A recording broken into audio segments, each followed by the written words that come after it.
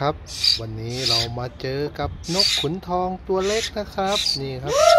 เป็นฟาร์มเพาะพันธุ์นกขุนทองนะครับนกขุนทองโอ้ดูครับนกขุนทองเยอะมากๆเลยนะครับกำลังหิวเลยครับ นกขุนทองเหล่านี้กินตับนะครับ กินตับนะครับกินตับเป็นอาหารครับ เดี๋ยวไปเล่นเดี๋ยวมัน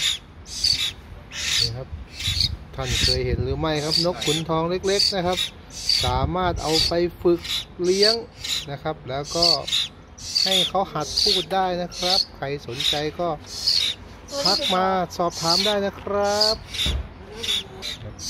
ร้องหิวข้าวเยอะเลยครับอ้าปากเตรียมกินข้าวแล้วครับอ้าปากเตรียมกินข้าวแล้ว ดูสิครับ น่ารักไหมไม่ล่ะตื่นเลยนี่คือเจ้าขุนทองน้อยนะครับโอ้มากินตับนี่ใช่ไงนี่ไงตับอยู่หลังนี่ตับหลังเนี่ยเห็นไหมทำไม นะครับไม่เขาจะกินตับเขามองไม่เห็นไง เขายังตัวเล็กอยู่ตัวนี้น่าจะตัวแก่ที่สุดแล้วเนี่ยตัวขนเต็มหมดแล้วนี่พวกนี้ขนเต็มแล้ว